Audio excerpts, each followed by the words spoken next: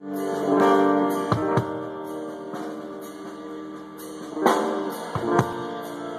song's off our first record called Travels.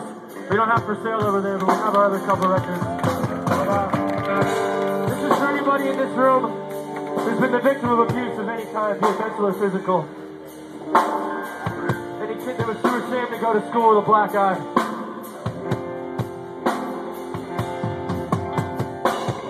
It's called Blessed Burden.